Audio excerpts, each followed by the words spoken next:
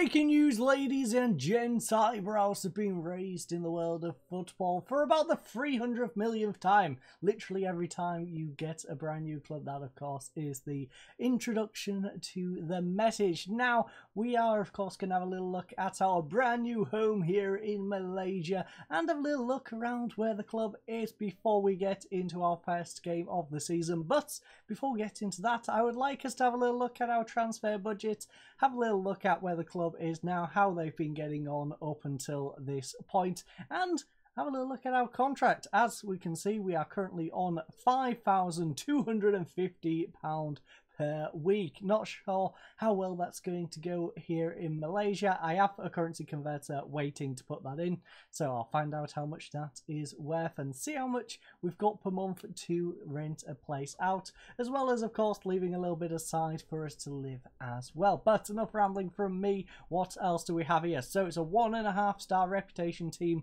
The media predicts us to be top of the league, although I have had a little bit of a look and I believe they only finished second or third, I want want to say. We'll look for the exact position in just a second. Now, the transfer budget is just over 5 million, so we're going to have a little bit of money to spend. The wage budget is nice at 113,516 per week, and we've got a nice big stadium too 40,000 capacity Sultan Ibrahim Stadium built in 2020. Now, Director of Football is Moid Shakib Ali, assistant manager, is Ramian Rashid. Not sure if we're going to be able to bring in any new staff, as you can see with the FA Cup winners. Oh, here we go. Super League second place is where we finished last time.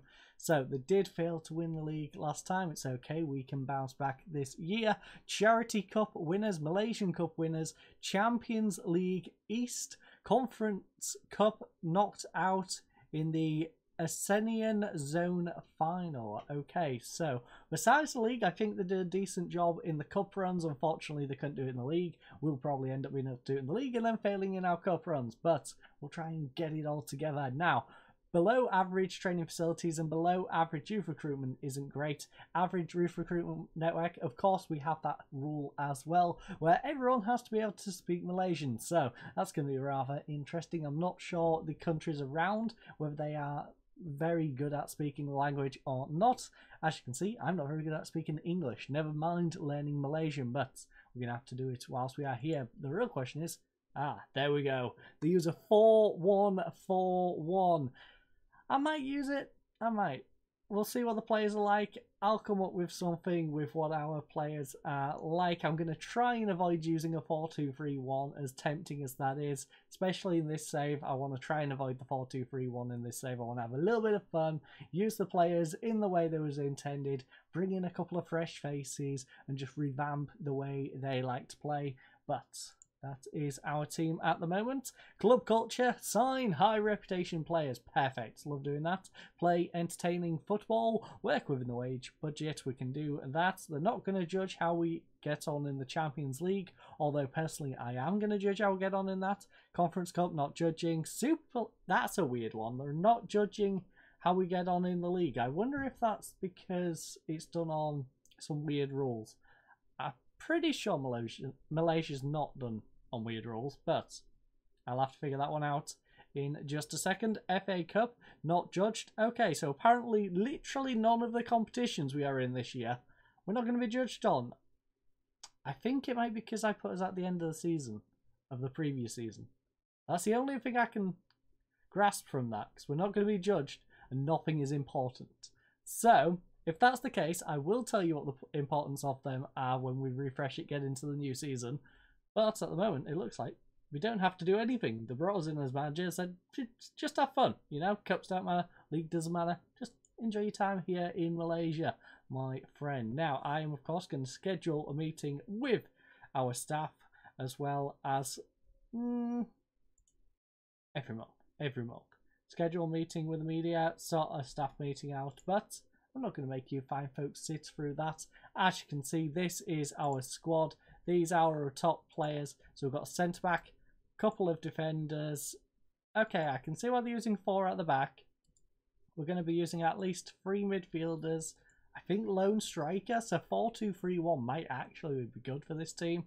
I might go for the Christmas tree though, just to switch things up. Anyways, I'm going to sort that out. As you can see, we've got a Kosovan.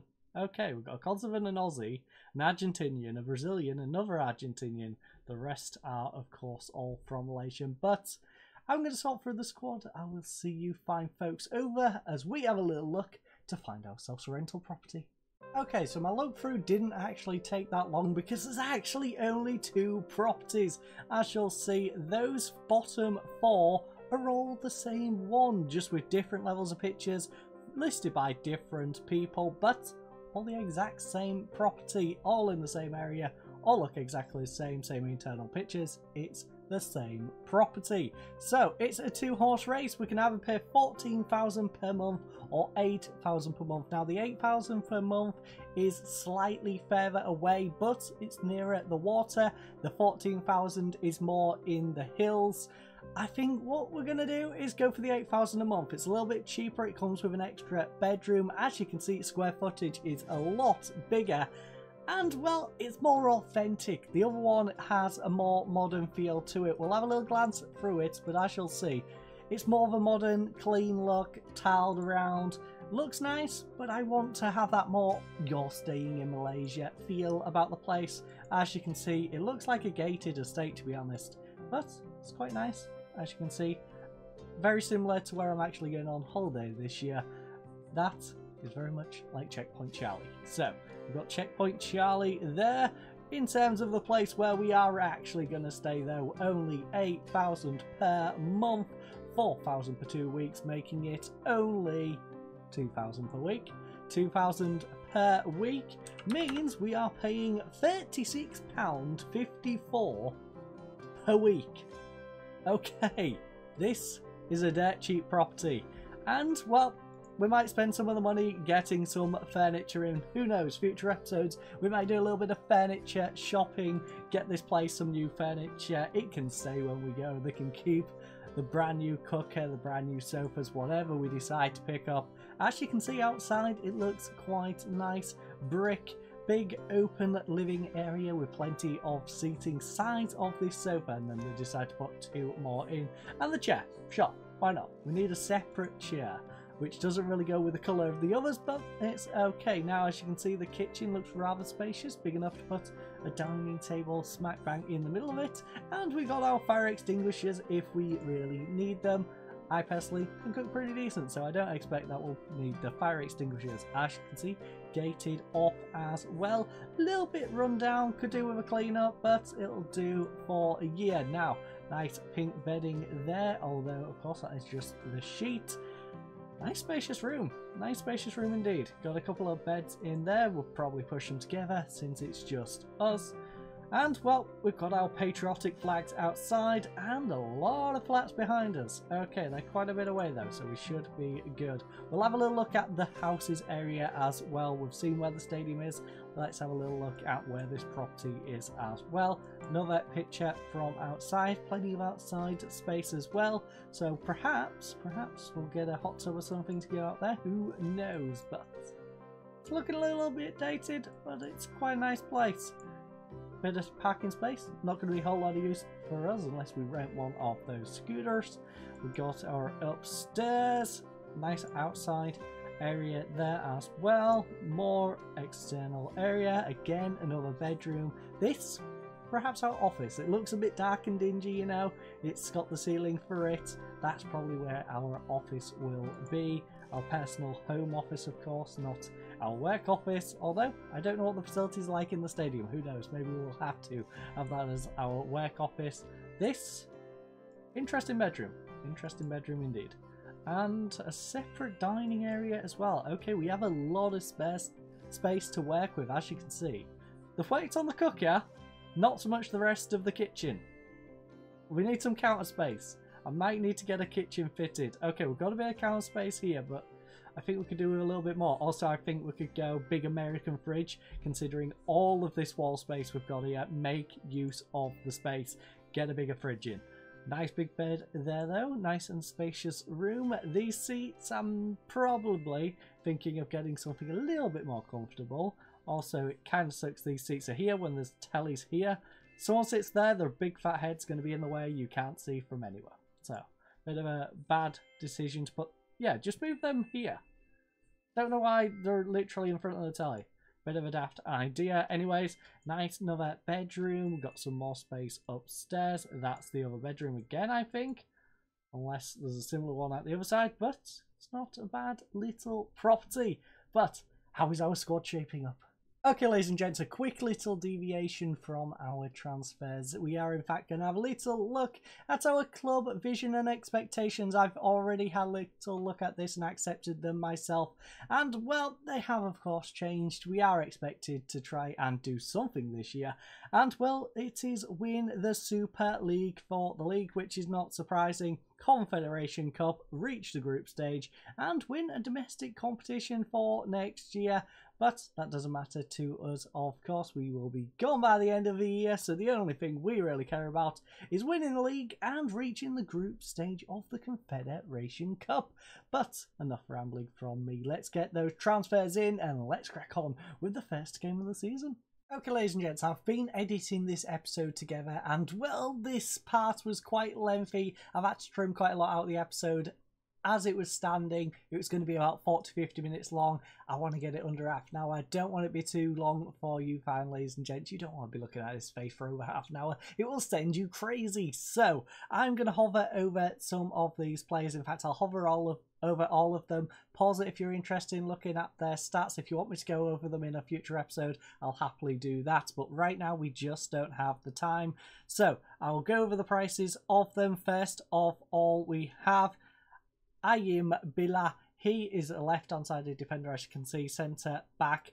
He, in fact, was in the team of the year for this division. We then have another Ghanaian coming in. We do have one extra foreign player. I made a mistake bringing both of them in. Should have probably just brought the one in, but solid player. Another solid player, Cam. Both of them coming in on free transfers from last year's champions Selangor. We are then buying a player from Selangor, Safari, a right-hand sided midfielder, a little bit of cover over there for 12.5 grand. Free transfer for the goalkeeper Biden, not Sleepy Joe Biden. This one's spelled a little bit different. He's coming in our free transfer. He's probably second, maybe third choice goalkeeper. Definitely not going straight into the lineup.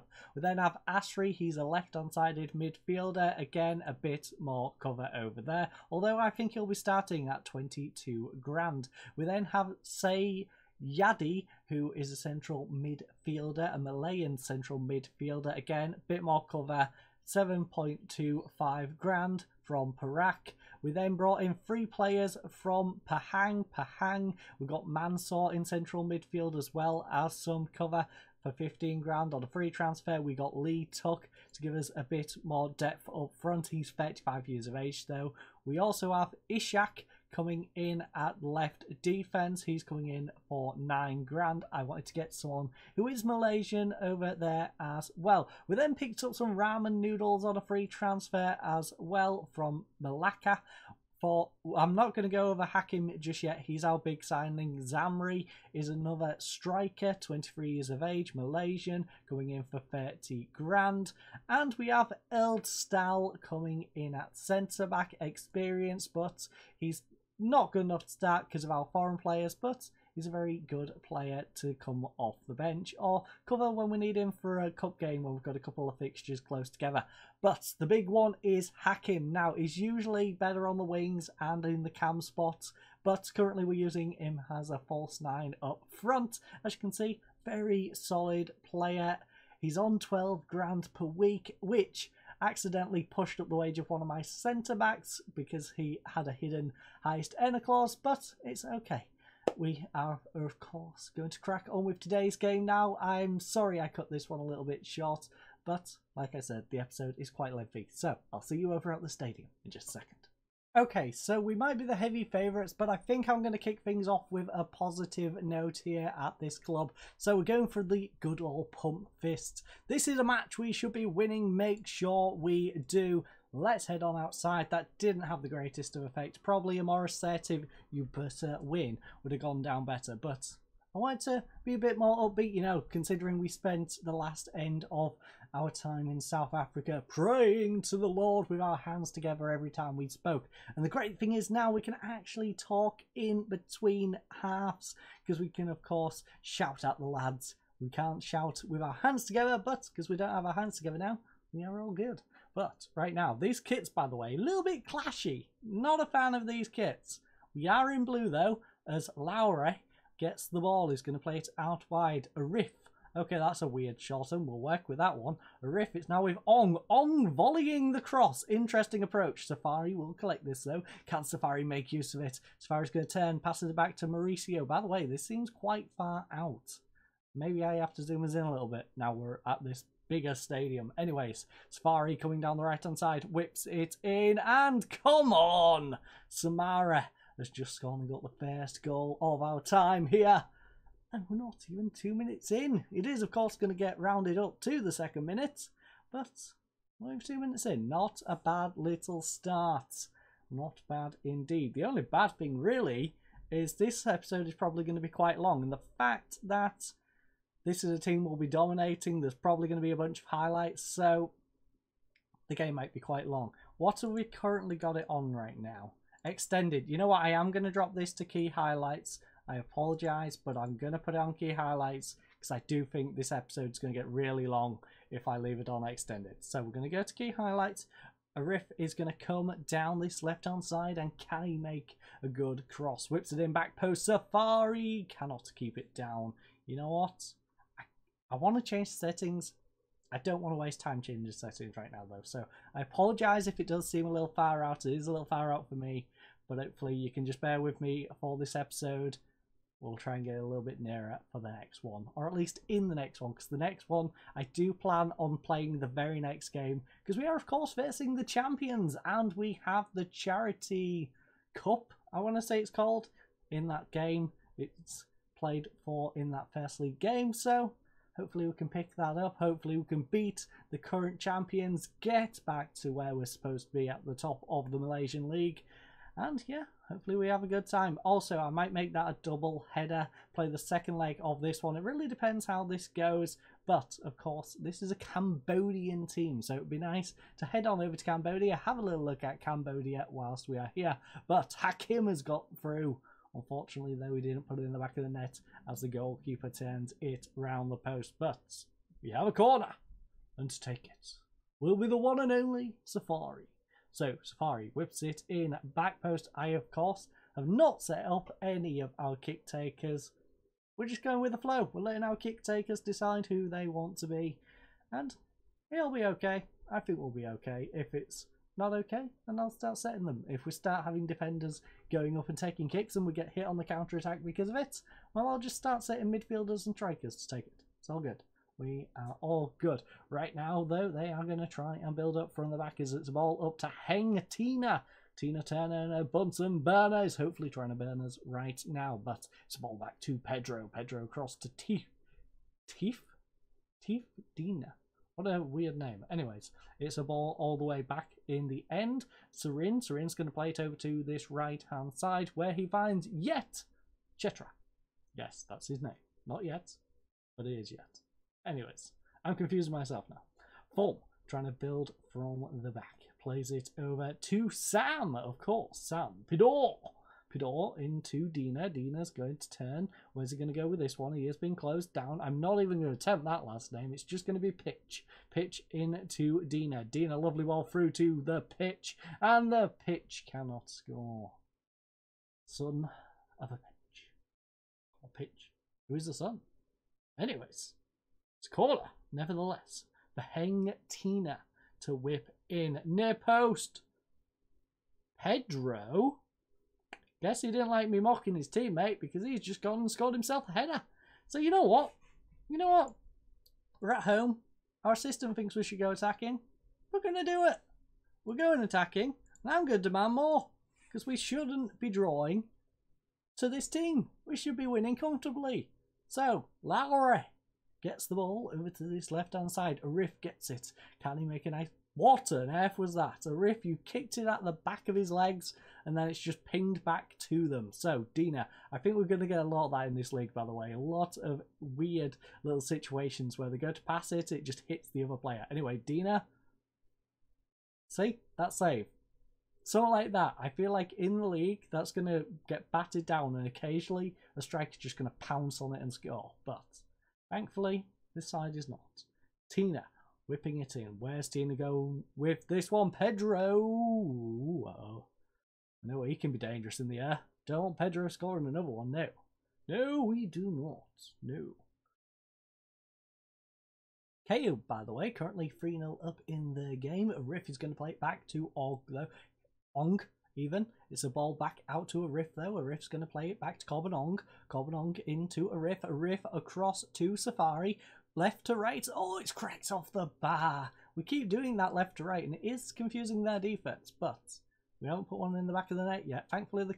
Okay, fine. Fine. Don't give us the highlight. That's okay. Anyways, we have a couple of goals elsewhere. Bottom one, still nil nil. 5 0 to Kaya. I think it's safe to say Kaya's going to make it through. They do, of course, have to head away in the second leg, but they're having a good time. 5 0 at home in their match. Unfortunately, we are not having a similar situation. Let's get our finger out. Let's point. I don't like what I saw from this team, although there is a lot of sevens. A lot of sevens. But I still don't like what I like from the team as a whole. The team as a whole has been pretty dismal. So, get back out there. Show me something better. We've had some players who have put in a good performance. Others, though, have been lacking. Mainly our right back right now, who's on a yellow card and a 6.4, and I don't know if we've got anyone who can really replace him. So it's ball up to Samara right now. Samara's going to turn, shoots. Oh, what a goal by Samara! Got himself a brace, ladies and gents, but can he get himself hat trick? He's one away. Can he get that? Seal the deal on this game. Hat trick would be fantastic. Fantastic way to kick off our first game in charge if you could do it. A brace is nice, but I would like to see a hat trick. I would like to see that. But it's going to be ball whipped in back post. Goalkeeper collects it in the air though. How's his distribution though? Is he going to give it back to us or is he going to root one it, go straight over the top of us, and then score an equaliser? Well, we got it. We won the header.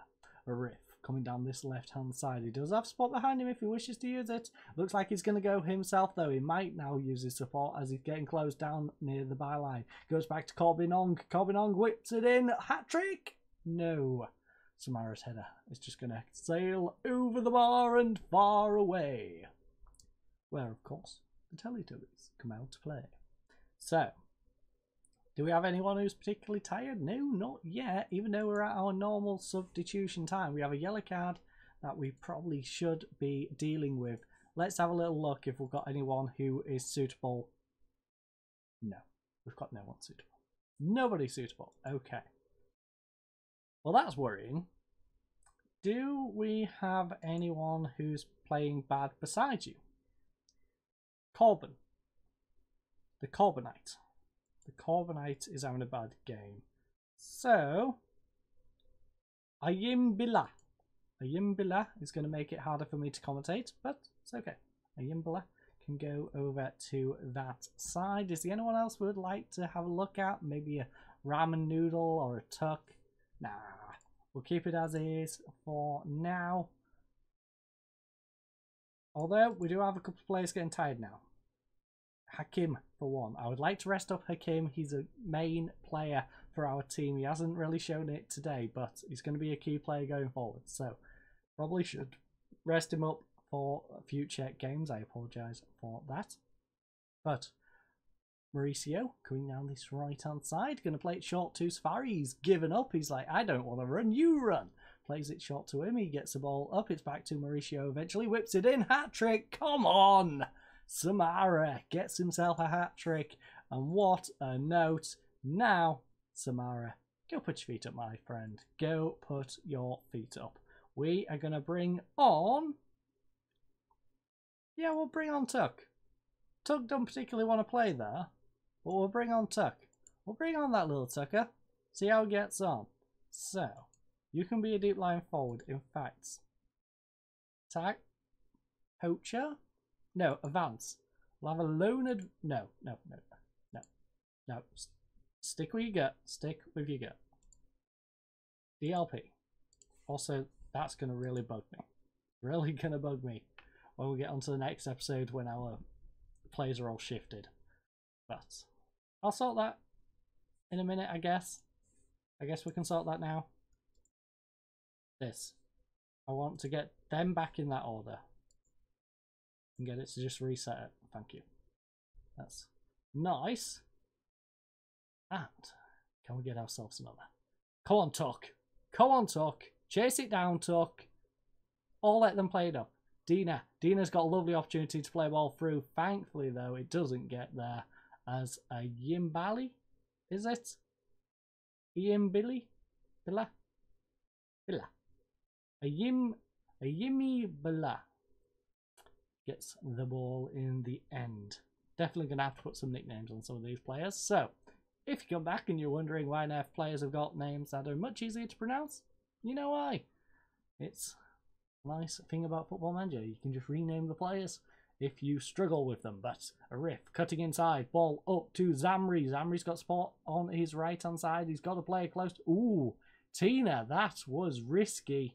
Fortunate for you though, you did manage to win the ball, but Safari's found himself plenty of space on this right hand side. By the way, if you're looking at the pitch and wondering why does it look so darn big, that's because I put the maximum dimensions on for our pitch. We're supposed to be the best team in the league. So if you make it as big as possible, we've got as, as much room as possible to work with. Simple logic. It is going to bite us on the backside probably when we come into, say, the Asian Champions League. We're going to be coming up against some better teams, but we have to qualify for that first. And, well, looks like we might be on the road to doing so right now with our 4-1 lead in this one. So, I'm not sure if we're going to do a double header. We might go to Cambodia, we might not. I want to do double header still. It does seem kind of pointless, but who knows? Maybe we'll look at some of our backups, you know. Give you a little look at some of the players who I've brought in who probably won't play too much. They'll play three or four games maybe this season. It'd be nice to show you them as well as our main players, if of course they are fit enough, because our next game is in about two or three days.